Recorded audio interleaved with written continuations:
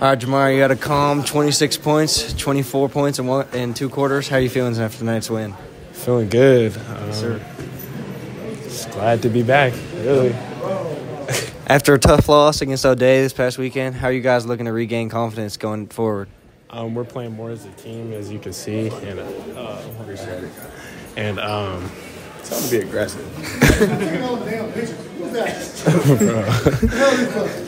Where you guys from? Garfield? Yeah. All right. Look like, look like y'all from Blanchet. Right here, Look like y'all from Blanchet. Hey, y'all fired the other guy? What? Where's the other cameraman? Y'all fired him from the Bulldog Journal? And um, we're talking more on defense, which is a big factor for our team. For sure. With only a few weeks left in the season, how are you guys looking to close out the year? Um, we're trying to win the rest. Yep. We got a giant back, you see, and he's doing good. Yes, sir. Thank you.